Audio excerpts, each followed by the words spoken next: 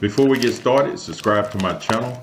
And what I'm doing here, I'm going to fry some cabbage with some bacon and carrots. It's real simple to do. First, what you want to do is get you uh, about three slices of bacon, and I'm going to cook half this cabbage.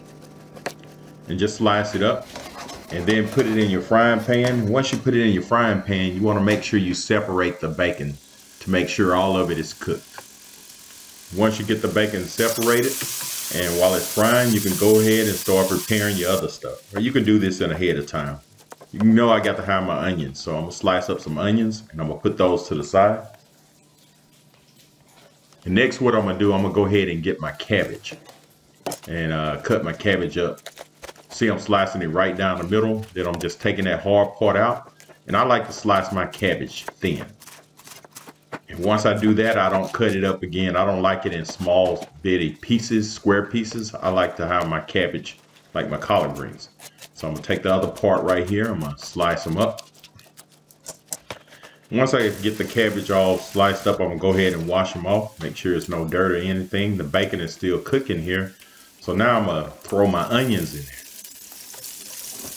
And I really don't cook my onions that much. You can put your onions in now or later.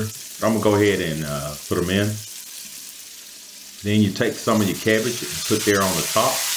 Don't add no water. So we're just using the grease from the bacon. And you want to, I got some garlic powder. Just sprinkle it on it. Season it how you want. You know, I'm a country boy. We don't measure anything.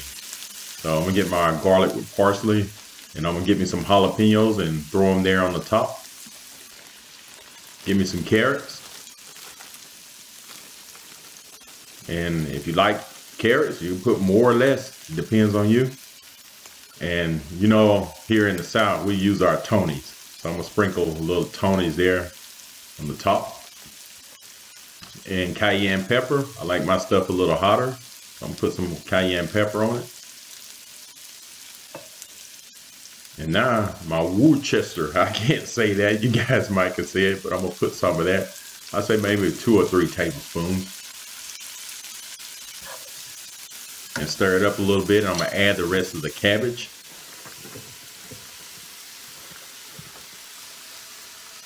Then I'm gonna uh, add a little bit more season there on the top.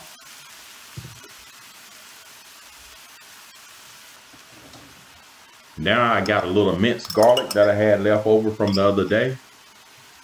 I know that sound, that squeaky sound is getting to your ears, but I got to make sure I get all of it out. And now what you want to do is just start stirring this up. You want to cook it for about 10 minutes. I like my stuff crunchy. I don't like to overcook my cabbage. Uh, I like when, uh, when I'm finished, I like to hear the crunch. Like I said, about 10 minutes. It depends. Once you're done, that's what you got right there. So I'm going to put me some on a plate. Man, it smells good. Now, if you want to, you can add chicken, shrimp. Sometimes we add some ribeye steaks to ours, but um, I'm trying to eat a little better now, so I ain't gonna put all that other stuff in there. And get your sriracha sauce.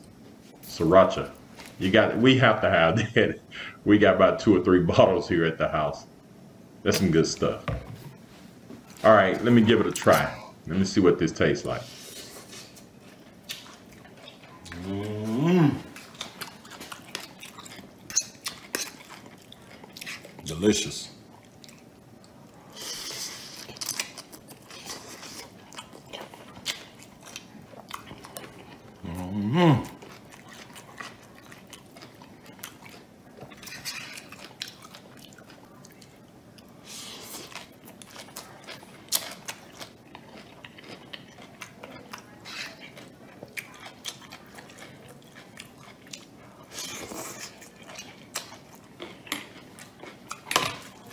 I think I ate the whole pot before I finished making this video.